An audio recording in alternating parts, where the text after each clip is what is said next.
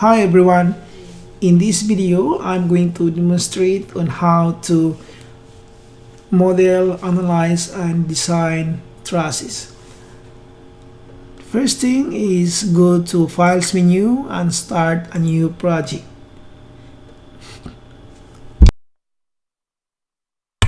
There are a few templates here so I will choose this one and then declare the dimensions of the truss.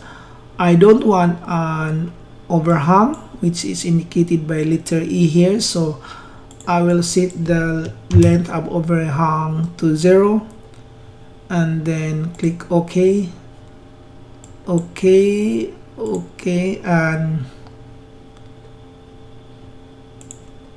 this is now the initial model next thing is I will apply or declare the load case. Um, there are predefined load cases here dead load and live load so I only need to add the wind load.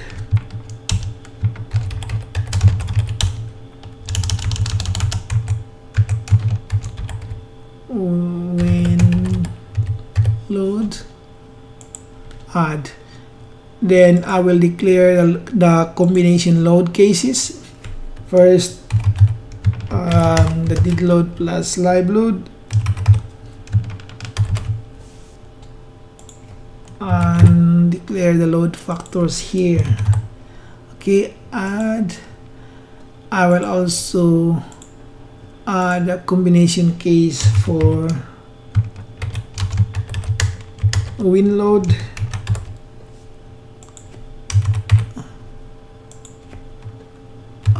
okay and then add I will add the serviceability condition or dead load plus live load for serviceability. This is to check the deflections only not part of the strength design. Now next I have to declare the section libraries. As you can see here all of these members are using a wide flange because this is the default of the frame wizard. So I have to add section libraries for angular sections. Okay these are equal angles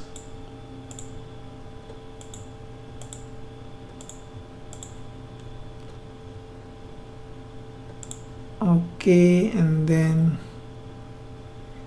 click OK. Now I need to change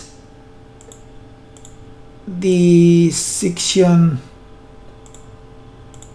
properties of the top chords to angles. Because if I will assume a wide flange then FrameCE will think that um, the design will use wide flange section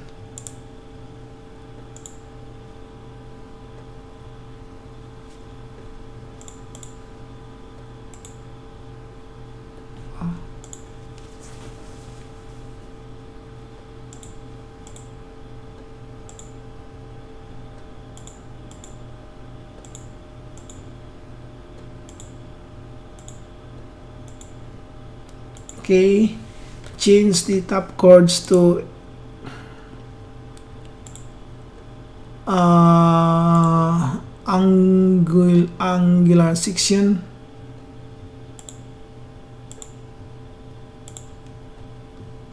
And change the bottom chords to angular section here. And then select the verticals and diagonals. Right mouse click edit beam properties. I will assume as 4x4 apply exit. Now in 3d um, member sections what you can see is this.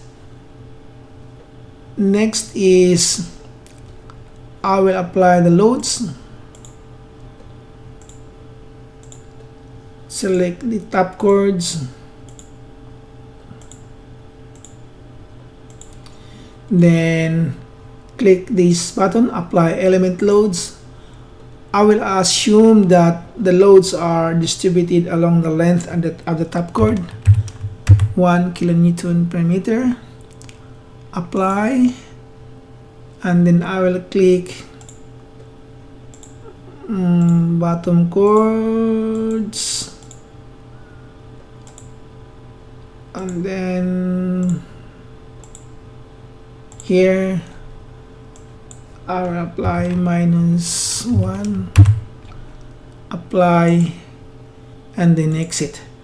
So all the loads I have applied are for dead load because I am currently in dead load case. So to apply live loads I have to go to live load. And then again select the members that will receive the loads. And then instead of clicking this button apply load I can also right mouse click and then apply element load and the same thing. Okay and then apply exit. Now next is the wind load. Now again I have to select um, the elements that will receive the load and then click element load button. And wind load is different from dead load and live load because it is always perpendicular to the member. So I have to choose local load type and then apply the loads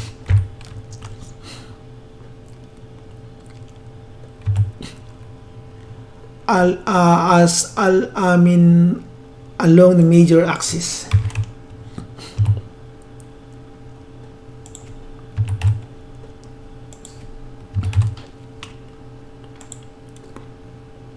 As you can see here the loads are perpendicular to the top chords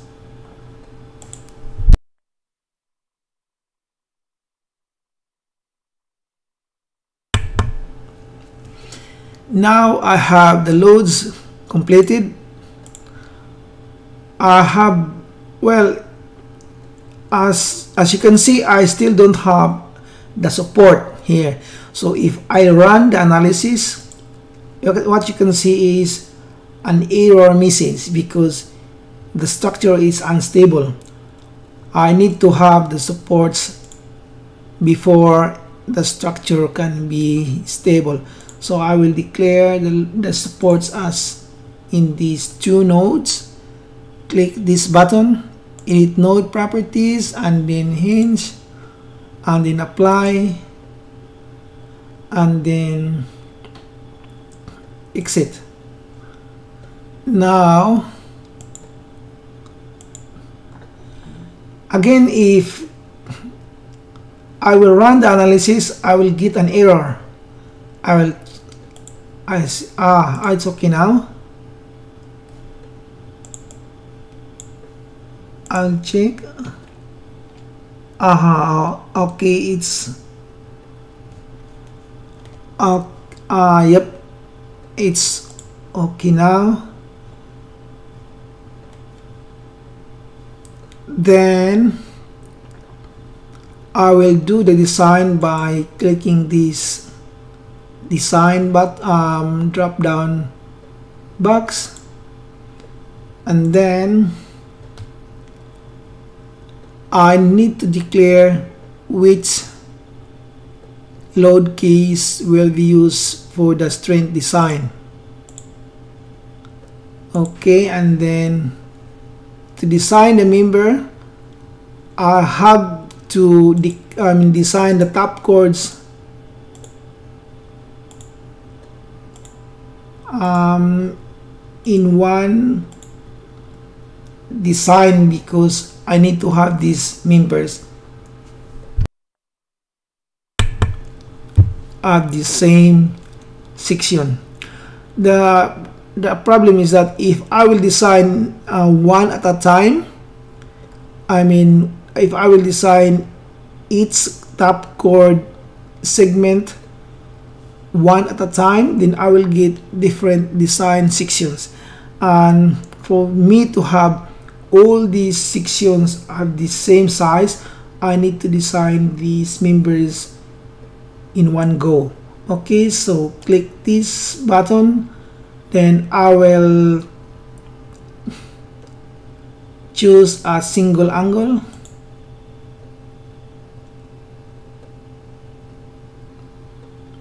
then it takes a bit of time because FrameCE will um, get all the loads for, for all those members selected.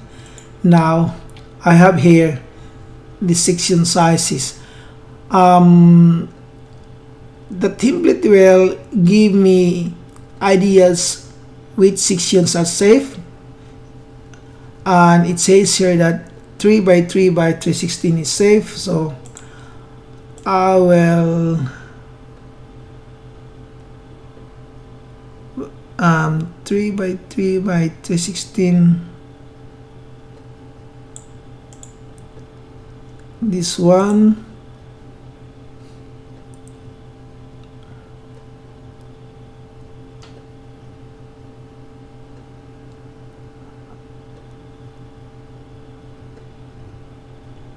Okay and then it says save so I can use this for my design so uh, I'll click main menu save as PDF then save and then okay and then exit. Now you can do I mean this is just an example so the are, are the same for designing. Now I want to check the deflections.